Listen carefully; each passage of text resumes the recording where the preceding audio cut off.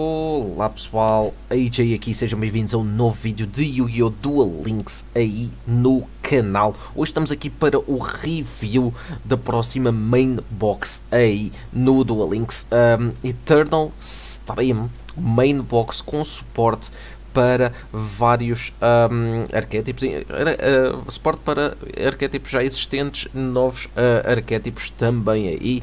Fazer aquele review rápido, já sabem, deixem o gosto, inscrevam-se aí no canal, partilhem tudo mais, deixem as vossas opiniões sobre a caixa aí nos comentários, se é bom, se é mau.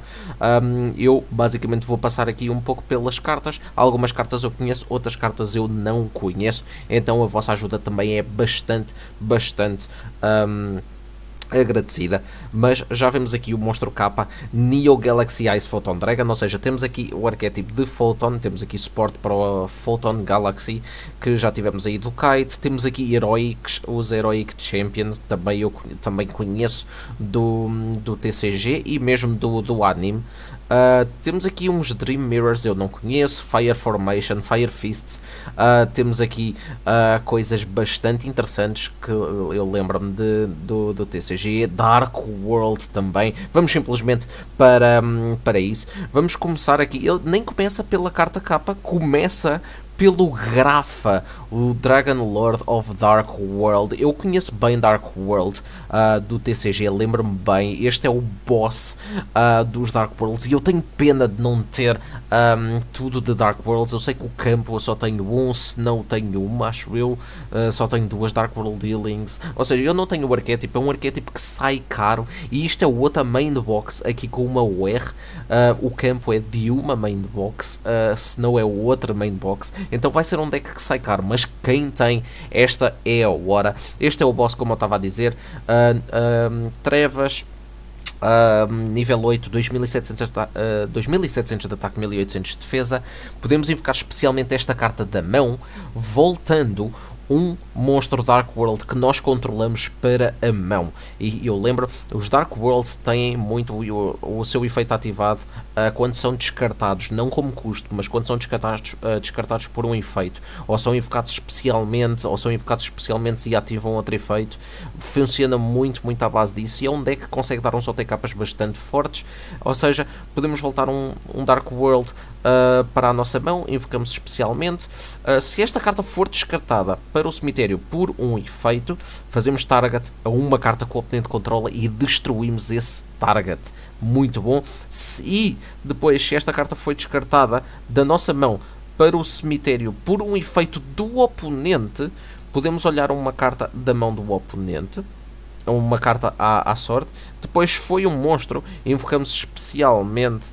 Um, esse monstro para o nosso lado do campo. Ou seja, o Grafa faz aqui muita coisa. Uh, e é um, um, dos principais mecanismos, ou os principais mecanismos para jogar uh, o, o já existe no, no Duel Links. Temos um, o campo.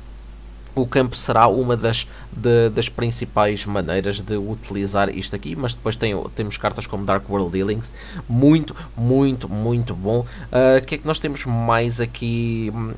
Uh, este Dark Ruler Normor, uh, não pertence a esse arquétipo. Uh, deixem só ver, temos aqui mais alguma carta de raridade. Temos aqui uma magia de Dark World, que é Charge into a Dark World. É tipo a contrapartida da Charge into the Light Brigade. Um, basicamente, porque Dark World, em certa maneira, é uma contrapartida aos Light Swords. Um, pois, esta carta, que é uma magia normal, diz: fazemos target a 1. Um, uh, Find, um demónio nível 4 ou menor no cemitério e invocamos especialmente, depois descartamos um Find da nossa mão. Ou seja, só por aqui nós podemos uh, fazemos target a um nível 4 ou, ou menor, Dark World, invocamos especialmente, descartamos o Grafa. O Grafa vai destruir uma carta. E depois, com o próprio efeito do Grafa, voltamos esse, este fim de nível 4 que fizemos Special Summon, voltamos para a mão e invocamos o Grafa. Easy peasy, muito, muito, muito god. Um, acho que este, este deck vai dar para fazer umas coisas bastante interessantes. Tenho pena mesmo de não ter as coisas. Vou ter que pedir aí a conta a alguém para utilizar. Mas um, teremos mais cartas Dark World. Eu vou focar-me aqui nas cartas de raridade para tentar não perder assim muito tempo. Uh, aparece aqui algum combo sugerido? Não, aparece mais de, do, dos Galaxy e tudo mais. Mas bastante interessante. Deck caro, mas um, que vai ser muito engraçado de jogar. Depois temos aqui a carta capa, um, que é a evolução do, do Galaxy Ice, que é o Neo Galaxy Ice Photon Dragon, que é um rank 8 e precisa de 3 monstros nível 8. Há maneiras de fazer isto, ainda assim, mas ainda assim, uh, 3 monstros nível 8, 4500 de ataque, 3000 de defesa. Isto é a contrapartida ao Neo uh, Blue Eyes uh, Ultimate Dragon ou Blue Eyes Ultimate Dragon. Um, se esta carta for uh, invocada por XYZ usando o Galaxy Ice Photon Dragon como um dos seus materiais, negamos os efeitos de todas as outras cartas face-up no campo. Magias contínuas, armadilhas contínuas, monstros, campos, muito, muito, consegue ser muito, muito, muito god. 3 monstros de nível 8 para o fazer é um bocado overkill. Um deck tipo Blue Eyes iria conseguir fazer isto. Será que compensa? Não tenho a certeza. Ele diz ainda que uma vez por turno podemos tirar um material XYZ desta carta. Tiramos todos os materiais XYZs um, de monstros que o oponente controla e ganhamos 500 de ataque por cada e depois podemos atacar um número de vezes igual a esses materiais removidos esta um, Battle Phase. Uh, é uma carta puramente anti-XYZ, uh, como o próprio arquétipo de, de, do Galaxy Ice, do Galaxy Photon Dragon. Um, pode ser demasiado caro para o fazer um, se houvesse uma skill uma magia para o passar rapidamente da, diretamente, por exemplo, do Galaxy Ice Photon Dragon para o Neo Galaxy Ice Photon Dragon, assim uma magia tipo rank up ou assim, seria um, talvez mais interessante. Mas será que vai dar para utilizar isso aí? Eu não tenho a certeza. 3 monstros nível 8. Há decks como Blue Eyes, como eu estava a dizer, que conseguem meter aí monstros de nível 8 facilmente, mas de resto. Um, não sei que, que, o que é que nós temos. Temos esta armadilha Eternal Galaxy, ou seja, temos aqui muita variedade. Eternal Galaxy, que é mais uma carta do arquétipo de Galaxy.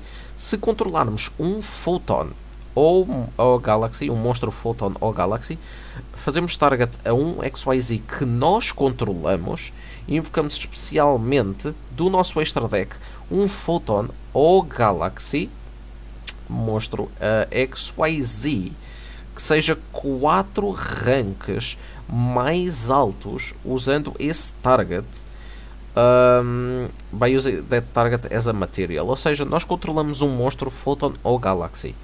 Basicamente, imaginem, nós conseguimos colocar 3 Photons a uh, nível 4. Uh, fazemos ali o Galaxion, por exemplo. Uh, yeah, nós fazemos ali tipo o Star Leech. O Star Leech consegue trazer o, o, o, o, Galaxy Ice Photon Dragon. Depois usamos esta armadilha. Por cima do Star Leech, como nós controlamos o Photon, podemos jogar o Neo. Ok. Ok. Isto é tratado como um XYZ. E depois transferimos os seus materiais para o monstro invocado. 4 ranks mais alto. Um, isto vai ser para jogar o, o, o, o Galaxy Eyes. Vai ser, vai ser utilizado para, para jogar o Neo uh, Galaxy Eyes. Eu não sei se vai ser propriamente bom, não me parece. Uh, mas, yeah, ok. Tudo bem, é só isto que temos. Se calhar temos outras cartas. Eu vou-me focar nas cartas de raridade. Nós temos aqui outra UR que é Heroic Champion Excalibur. E eu lembro-me desta carta quando saiu no TCG, os Heroics, bastante bom. Se eu não, se eu não estou em erro, esta carta era uma Secret Rare de uma, de uma caixa, um, de uma caixa, de um, de um pack. Um, é, é guerreiro, rank 4, dois monstros guerreiro, Warrior, nível 4, 2000, 2000. Uma vez por turno. Podemos tirar dois materiais desta carta, os dois materiais, e o ataque dele fica o dobro do original até ao fim do turno do oponente, ou seja, ele é 4000, pode ser uh, utilizado para uns OTKs bastante, bastante interessantes. Um, combate, por exemplo, com um deck tipo Six Samurai, com Dual Wield, voltamos as cartas do oponente para a mão, depois no turno do oponente fazemos isto, 4000 ali direto, pode ser bastante, bastante bom. E depois tem aí outros decks uh, com guerreiros que conseguem fazer um, este Excalibur uh, até bastante fácil. Uh, temos mais coisas de heroics aqui temos uma SR, pelo menos, que é aqui o Assault Albert. Temos muita variedade nesta main box até. Um, o Assault Albert é nível 4 terra, 1800 de ataque, 200 de defesa. Se o oponente controla um monstro e nós não controlamos monstros, podemos invocar especialmente esta carta da nossa mão. Lá está, é um guerreiro, nível 4, entra especialmente fácil, que é bom. Se esta carta atacar um monstro em modo de defesa, damos perfurante ao oponente, também interessante. Quando esta carta dá dano ao oponente, podemos adicionar uma carta heróica do deck à mão. Ok, ok, tem os seus usos, pode ser logo para o XYZ, pode servir simplesmente para procurar cartas heróicas. Ok, interessante. Temos mais alguma coisa? Uh, das cartas de raridade, não. Temos aqui depois outras carta, cartas raras, uh, por exemplo, aqui como o Kusanagi. Eu não vou ver agora. Vamos ver as cartas de, de raridade, mas estão a ver aqui a variedade que há nesta caixa. Já tem, temos Dark World, temos Galaxy, temos Heroics e agora temos um arquétipo muito, muito hypado que já está aí em outras caixas e agora ganha mais suporte, que são os Fire Fist e temos aqui um dos principais Fire Fist, se não mesmo o principal XYZ, que é aqui o Brotherhood of the Fire Fist Tiger King, rank 4, 2 Beast Warriors, Uh, nível 4, 2200 de ataque, 1800 de defesa, é fogo. Uh, e quando esta carta é invocada por XYZ, podemos setar uma magia ou armadilha Fire Formation diretamente do deck. Temos outras cartas um, que já funcionam com esse efeito e basicamente eles uh, têm muitos dos seus efeitos uh, ativados ou uh, beneficiam dessas magias e armadilhas Fire Formation, nomeadamente as, as magias que dão ali boost no ataque ou tem, tem por exemplo. Um, uma Fire Formation que deixa fazer o Normal Summon adicional, tem a Gyoko que serve para bloquear a backroll do oponente, já foi utilizada em outros decks, e temos aqui outra SR que já vamos falar aí que também é muito boa para procurar mais monstros. Um, além disso, uma vez por turno podemos tirar um material desta carta, negamos os efeitos de, to de todos os monstros uh, de efeito atualmente no campo, exceto Beast Warriors. Até o fim um, do turno do oponente. Bastante, bastante bom. Negar ali efeitos de monstros. Bastante, bastante bom. Este XYZ um, vai ser bom. Fire Fist. Uh, será novo deck meta? Será? Não sei. Quando esta carta é enviada do campo para o cemitério, podemos enviar três magias uh, ou armadilhas Fire Formation uh, que nós controlamos para o cemitério e invocamos especialmente dois nível 4 Beast Warriors com o mesmo ataque do deck um, um, em modo de defesa no campo. Ok, bastante bom. Também tem a maneira de tipo de, de recuperar. Ele é enviado para o cemitério. Um, enviamos as nossas três Fire Formations. Basicamente trazemos outros dois. Podem servir para reciclar essas Fire Formation para fazer depois outro, uh, outro XYZ. Bastante, bastante God. O um, que é que nós temos aqui? Temos outra UR, e lá está, já são URs a mais. Aqui são estas duas URs. Depois temos URs de outras caixas e assim pode sair caro. Vamos ver como é que será o deck ideal. Temos aqui o Brotherhood of the Fire Fist, Elephant, que também é nível 4, Beast Warrior, serão todos mais ou menos iguais, Fogo, 1000 de ataque, 1800 de defesa. Se esta carta for invocada normal ou especialmente, ele pode ser invocado especialmente pelo efeito do Tiger King quando é enviado para o cemitério, podemos enviar uma Face-Up, magia ou armadilha Fire Formation para o cemitério e invocamos especialmente um Fire Fist da mão, exceto Elephant, ou seja, por si já pode ser um XYZ bastante interessante. Um, ok. Podemos fazer target a uma uh, Fire Formation Magia ou Armadilha no cemitério. Baralhamos de novo no deck. Depois adicionamos um nível 5 ou mais alto Fire Fist monstro do deck para a mão. Ou seja, já temos aqui, temos aqui um que lá está, recicla uh, magias ou armadilhas Fire Formation Nível 5 ou mais alto, temos que ver que Fire Fists é que uh, são utilizados neste caso para isto acontecer. E só pode ser utilizado o efeito uma vez por turno, tudo bem, cada um dos efeitos, mas ainda assim bastante, bastante interessante. Depois chegamos a uma das cartas mais importantes do arquétipo, não vai ser utilizada só com Fire Fist, mas também uh, com decks de Beast Warrior como Yozenjo, Lunalight e outros. Que é que o Fire Formation Tanky, magia contínua, vai de acordo às magias que já temos, lá está, como a Gyoko, que eu estava a falar, como, um, como as outras. A Fire Formation Tanky, quando esta carta é ativada, adicionamos um Beast Warrior, um monstro Beast Warrior, nível 4 ou menor do deck para a mão. Só aqui, bastante bom. Uh, e os anjos são todos Beast Warrior. Luna Light foi nerfado, acho eu, por causa desta carta. Uh, porque são todos Beast Warrior. Um, Gladiator Beasts, bestas uh, gladiadoras, está uh, mesmo no nome também. Tem Beast Warriors, não são todos Beast Warrior, mas dá para utilizar com isso. Ou seja, muito, muito bom. É logo ali, Bugins. Bugins vai beneficiar com esta carta. Muito deck a beneficiar com esta carta. Já é SR. Uh, provavelmente, se eu tivesse que arriscar para ser hum, possivelmente nerfada no futuro, não sei. Um, e depois, lá está, todos os Beast Warriors que nós controlamos ganham, ganham 100 de ataque. É uma, outra, outro efeito que acho que todas as magias têm, que é dar esse boost na, nos Beast Warriors bastante, bastante, bastante bem. Só podemos ativar uma Fire Formation Tiki uma vez por turno. Bastante God essa magia. Um, temos ainda aqui o Brotherhood of the Fire Fist Ellen. Será este o nível 5 ou mais alto? Neste caso é nível 6 para ser utilizado ali com o efeito, com o efeito do Elephant. O, este Brotherhood of the Fire Fist Ellen, nível 6, ritual. 2400 de ataque, 2000 de defesa. Um, pode ser invocado por ritual usando a Fire Formation do Mei. Do Mei. Um, podemos descartar um monstro e setamos uma Fire Formation Magia ou Armadilha diretamente do deck ou do cemitério. Ou seja, ele provavelmente vai ser utilizado um para conseguir reciclar aí magias e armadilhas. Um, depois, quando o oponente ativa um efeito de monstro, isto é um Quick Effect, podemos enviar um Fire Fist ou Fire Formation uma carta Fire Fist ou Fire Formation que nós controlamos para o cemitério, negamos esse efeito. Não destrói, só nega esse efeito. Também é interessante. No que toca a efeitos de monstros, ok, só nega o efeito, mas o monstro fica ali no campo. Magia ou armadilha simplesmente nega o seu efeito, pode ser determinante. Ok, gosto. É um arquétipo que também sai caro como Dark World, mas um, é bom estarem a vir essas cartas. De resto, eu acho que não há mais um, cartas de raridade. Temos aqui raras para baixo, uh, outros Brotherhood. Uh, temos que, que, ver depois quando sair, temos que estar atentos aí uh, a listas, mas bastante, bastante interessante.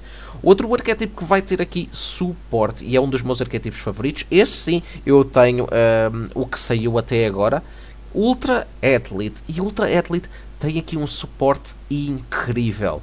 Tem aqui esta magia de equipamento que é a UA Powered Jersey, que é uma magia de equipamento, que só podemos equipar a um monstro UA, ganha 1000 de ataque e 1000 de defesa, e se esse monstro batalhar um monstro do oponente, qualquer dano dado ao oponente é dobrado. Ou seja, como é uma carta UA, dá para procurar pelo efeito da armadilha.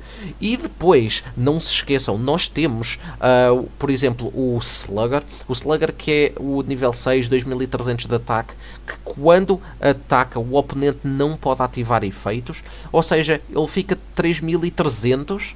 3300, uh, o oponente não pode ativar efeitos e depois ainda tem aqui, um, se o monstro equipado destrói um monstro uh, por um ataque, pode fazer um segundo ataque durante a Battle Phase, ou seja, pode ser mesmo muito perigoso. E ainda tem outro, o Dunker, o Dunker que dá perforante, esse aí pode ser mesmo, mesmo, mesmo um problema. Dá perforante, o dano é dobrado, cuidado, cuidado aí, porque pode ser realmente um problema. Um, durante a, a, a, nossa standby phase, banimos um, o monstro equipado. Uh, ok, não me lembrava disto. Se esta carta for enviada para o cemitério porque um, o monstro foi retornado para a mão, podemos voltar esta carta para a mão. Ou seja, um dos nossos Ultra Athletes está tá equipado com esta carta ele volta para a mão, a magia também volta para a mão. Bastante interessante. Isto será uma, uma carta para dar uns OTKs assim cheesy, especialmente com o Dunker, talvez. Uh, mas ainda assim bastante, bastante bastante God. Eu gosto bastante do Ultra Athlete, adorava ter isto. Eu não tenho gemas, vamos ver como é que eu vou fazer. Uh, temos ainda uma SR, estão a ver, é tudo muito, uma tipo o RSR, o RSR dos arquétipos diferentes. Temos aqui uma carta do ASR, que é aqui a Signing Deal. Invocamos especialmente um Ultra Athlete do deck, mas o seu efeito é negado e não pode ser utilizado para Synchro nem para XYZ. Ok. Uh, depois perdemos pontos de vida igual ao nível do monstro invocado especialmente, vezes 300. Ok. Interessante.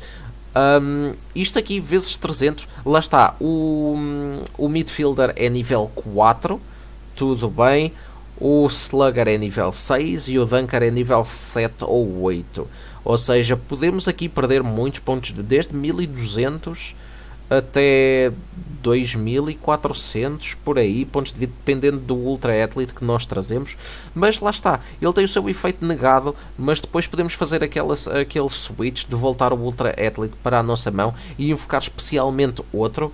Um, por isso, pode ser bom. E é estes pontos de vida que nós perdemos, por exemplo, o Slugger, o Slugger nível 6, 6 vezes 300 dá 1800 pontos de vida.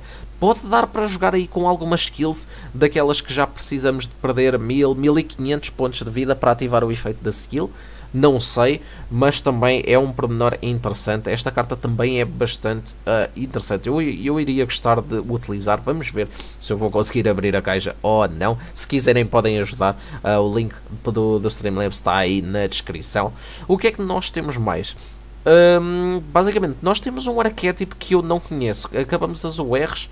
Um, temos aqui, ok, eu vou falar primeiro desta. Esta que é uma carta uh, genérica, é uma magia genérica, que é a Dark Ruler No More.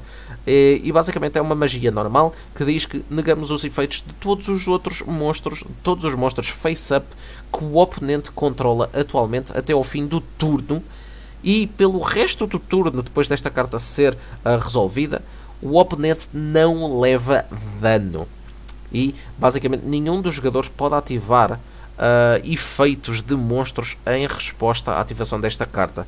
Basicamente, isto é só para negar efeitos, livrar-nos ali da borda do, do campo do, do, adversário e depois não vai levar dano, mas se for preciso. Uh, destruirmos o campo do oponente, temos o nosso campo bem definido e ele fica sem recursos. Pode ser perigoso, pode ser definitivamente perigoso. Todos os monstros face-up que o oponente controla, efeitos negados. Estou para ver como é que esta carta vai influenciar, influenciar aí o meta. Mas como eu disse, acabamos aqui com um arquétipo novo que eu não conheço. Que é aqui os Dream Mirror. E começamos com uma magia, é uma magia de campo. Que é o Dream Mirror of Terror. Ok, a arte é interessante. Eu vou já falar, a arte é incrível. Durante a end phase, podemos banir esta carta e ativamos um Dream Mirror of Joy diretamente da mão ou do deck. Ou seja, tem aqui um bocadinho de triâmide, parece. Uh, podemos ativar o efeito do Dream Mirror of Terror uma vez por turno. Cada vez que o oponente invoca especialmente um monstro, damos 150 de dano ao oponente. O que devia ser 300 no, no TCG. Uh, ah, este efeito só é aplicado enquanto controlamos um uh, monstro Dream Mirror Dark. Ok. Interessante. Enquanto controlamos um monstro Dream Mirror Dark. Um, o outra, a outra carta Dream Mirror que temos aqui, por acaso não é um monstro Dark, é um monstro Luz, que é Ikelus. The Dream Mirror Sprite. Eu acho que eles são todos monstros que têm uma variação luz, outra variação trevas. Vêem ele no espelho, ele aparece que tem um reflexo demoníaco. Um, mas vamos ver, este é um monstro nível 1, fada, 0 de ataque, 500 de defesa. Uh, se esta carta for invocada especialmente pelo efeito de um monstro, Dream Mirror, podemos adicionar uma carta Dream Mirror do deck para a mão, ou seja, provavelmente tirando uh, uma carta com este nome. Um, pode ser esta a carta que procura o campo, o Terror ou o Joy, não sei, durante a main ou Battle Phase. Se um Dream Mirror, se, uh, se uma carta, Dream Mirror, ah, se um Dream Mirror of Terror, que é a outra UR, estiver na Field Zone, Quick Effect, podemos tributar esta carta e invocamos especialmente um Ikelus, The Dream Mirror Mara, do deck. Ou seja, o uh, Ikelus da Dream Mirror Mara. Nós já vamos ver. Isto será a versão a versão demoníaca dela. Exatamente. Isto é a versão demoníaca dela. Ou seja, nós controlamos o campo, temos aquela main phase ou battle phase, uh, triptamos aquela e trazemos a Mara. A Mara que é, é tipo é, é tipo irmã maligna da, da outra, da Sprite. Nível 1, 500 de ataque, 0 de defesa, é o status ao contrário. Se esta carta for invocada especialmente pelo efeito de um monstro Dream Mirror, como é neste caso, invocamos especialmente um Dream Mirror da nossa mão, exceto uma Mara, ou seja, vamos invocar especialmente outro fácil. Durante a main phase ou battle phase, se Dream Mirror of Joy está na, na field zone, podemos tributar esta carta e invocamos a Sprite. Ok, basicamente, se temos a luz, mas temos o campo do terror, podemos mudá-la para a Dark. Se temos a Dark, aqui é Mara, e temos o campo Joy, que é o de luz, mudamos para a de luz. Ok, isto é um mecanismo, é um mecanismo interessante. Deve dar para fazer algumas coisas com, com isto aqui. Um, eu não estou bem, bem a ver como é que isto funciona, porque depois deve haver aqui qualquer coisa.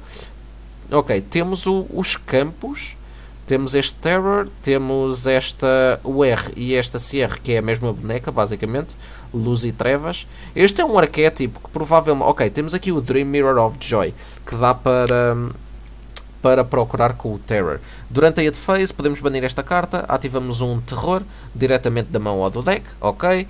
Uh, podemos ativar o efeito uma vez por turno. Monstros Dream Mirror, uh, que nós controlamos, não podem ser alvos uh, de efeitos do oponente, nem de ataques do monstro do oponente. Ok.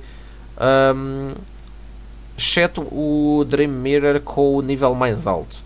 Este efeito só é aplicado enquanto controlamos uh, uh, um Dream Mirror luz. Enquanto o outro tem um efeito para Darks, este tem um efeito para luz. Parece-me estranho o arquétipo, não vou, não vou mentir. Uh, tem aqui alguma carta relacionada com isto? Eu não tenho a certeza. Deixem aí nos comentários. Temos aqui normais, uh, fantasos tipo luz ou trevas. E basicamente é isso aí. Nós acabamos as cartas UR um bocadinho nesta confusão. Uh, sei que nós depois temos aqui cartas uh, genéricas. Uh, vamos passar por isto rápido. Triple, triple original. quando o oponente faz normal ou flip summon de um monstro com mil ou mais de ataque, destruímos esse monstro. Não vai ser assim, tipo, a melhor coisa, não, não agora no, no jogo, diria eu. até aqui já sabemos, muito God. Temos aqui um XYZ novo, que é o número 64, Ronin Raccoon Sandaio, dois, uh, dois monstros Beast, uh, nível 2, e temos aí vários Beasts que dão para fazer facilmente este monstro. Ele é terra, 1000 de ataque, 1000 de defesa, uma vez por turno, tiramos o material desta carta, invocamos um Kagemusha Raccoon Token, que é um token nível 1, ataque é ponto de interrogação e tem 0 defesa. Quando é invocado, o ataque uh, torna-se igual ao ataque do monstro com, com um ataque mais alto no campo. E se for igual, nós escolhemos. Bom, e enquanto controlamos outro Beast uh, Type Monster, este monstro não pode ser destruído por batalha ou por efeitos. Ou seja, podemos jogar este aqui em modo defesa, easy. Uh, utilizamos o efeito, jogamos o token, o token fica ali com um ataque grandão vai servir para crachar aí com os monstros do oponente ou assim e simplesmente limpar. Assim é tipo um XYZ assim um pouco mais tipo control interessante. Temos aqui o full armor de Black Ray Lancer acho que já está no jogo por skill mas é mais um XYZ que vai dar para utilizar com o Territory of the Sharks porque é um uh, XYZ que precisa de 3 monstros nível 4 de água um, ou seja, simplesmente com a skill todos ficam nível 4. Um, vai dar para fazer isso. 2100 de ataque, 600 de defesa. Uh, também podemos utilizar este XYZ utilizando um XYZ rank 3 de água. uh, que não tenha materiais como material, ok, também vai dar para fazer isso. Esta carta ganha 200 de ataque por cada material uh, nele e se uh, esta carta fosse para ser destruída, podemos tirar todos os seus materiais XYZ em vez disso e protegemos. E se esta carta destruir uh, um monstro do oponente por batalha, podemos destruir uma magia ou armadilha uh, que o oponente controla também. Ok, interessante para ir para alguns decks de água, uh, tínhamos acesso só através de skill, estava eu a dizer. Um, de resto, o que é que nós temos mais? Temos. Ok, a, ul, a, última SR que eu não vi é esta Onomato, Onomatopia, que basicamente é um campo para os monstros Utopia. Um, vamos ver, há vários monstros Utopia que ainda podem vir um, para, para o Duel Links, acho eu. Não é só o Utopia, o Utopia Rei. Temos outras variações do Utopia, mas cada vez que o monstro Utopia é invocado especialmente para o nosso lado do campo, colocamos um i5 da Sky, i5 da Sky Counter, um contador nesta carta. Todos os monstros que nós controlamos ganham 200 de ataque e defesa por cada contador nesta carta, ou seja, o 1 Utopia 2500 já vai ficar 2700, só quando, quando ele é invocado. Jogamos o Utopia Rei por cima dele, mais um contador, ou seja, já 2900. Ok, interessante. Uh, uma vez por turno, podemos remover dois ou mais contadores desta carta e invocamos especialmente um Zubaba, GGG, Gogogo ou Dododo do deck. Ou seja, pode ser aí um, um suportezinho para o deck de Onomate, mas Onomate jogar especificamente com o Utopia já. Ok, pode ser. Ok, tiramos um, dois contadores, invocamos logo ali especialmente. Uh, Zubaba do do deck Interessante, não sei como é que essa carta vai encaixar Bem, podem deixar aí nos comentários E já sabem, eu agradeço tudo Eu acho que passámos pelas URs e pelas SRs todas uh, Eu não vou falar aqui das cartas raras, normais Eu quero ser surpreendido pelo resto Ok, esta magia já estava aí É aquela que permite fazer um normal summon extra Tudo bem Diga, deixem aí nos comentários as vossas opiniões sobre, sobre a caixa e tudo mais. O que é que estão mais hypados para ver a sair dessa caixa? Mas é isso aí pessoal, eu vejo no próximo vídeo aí no canal ou na próxima live stream. Até lá, fiquem bem, não se esqueçam de partilhar e estarem inscritos aí no canal e fui! Tchau!